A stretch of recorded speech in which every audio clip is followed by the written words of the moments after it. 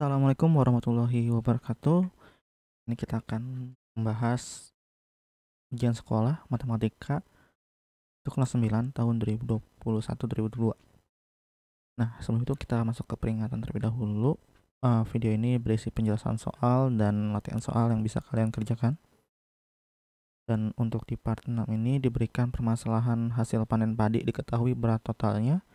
Jika diketahui berat tiap karung sama, peserta didik dapat menentukan berat satu buah karung. Oke, kita mulai ya. Jadi Pak Dudung baru saja mengambil hasil panen padi dengan tiga truk. Dengan berat keseluruhan hasil padinya adalah 24 ton ya. Nah, Pak Dudung ini mau menjual kembali berat pada setiap karungnya dengan banyaknya karung 10 lusin. Maka berat setiap karung Pak Dudung adalah titik-titik. Oke, kita mulai ya.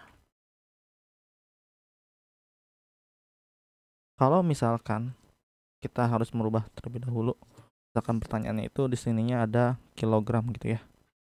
Nah maka si ton ini kita harus kita rubah ke kilogram. Sekarang kalau misalkan satu ton sama dengan 10.000 kilogram gitu ya maka kalau 24 ton maka 10.000 dikali dengan 24 jadi jawabannya adalah 240 ribu kilo. Nah, selanjutnya kalau kalian udah ketemu seperti ini gitu ya, uh, kita lihat lagi. Kan lusin, maka kalau di sini setiap karung maka kita harus ubah dulu. Satu lusin itu sama dengan 12 buah. Nah, kalau 10 lusin otomatis 12 dikali 10 buah jadi 120 buah.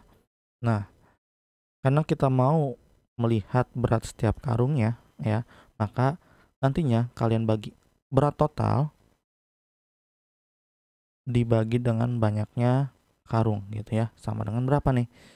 Jadi setiap karungnya ini coret, ini coret ya. 24 bisa dibagi dengan 12 yaitu 2. Berarti kan sisanya tinggal 20 20 ribu ya 2000 maaf ya 2000 kilo. Nah udah ketemu ya. Jadi tiap karung ya adalah 2000 kilo. Nah seperti itu ya. Oke. Mungkin kalian bisa mengerjakan latihan soal ini. Pak Anang baru saja mengambil hasil panen dengan tiga truk dengan berat keseluruhan Hasil padinya adalah 12 ton. Panang mau menjual kembali dengan berat yang sama setiap karungnya dengan banyaknya karung 5 lusin.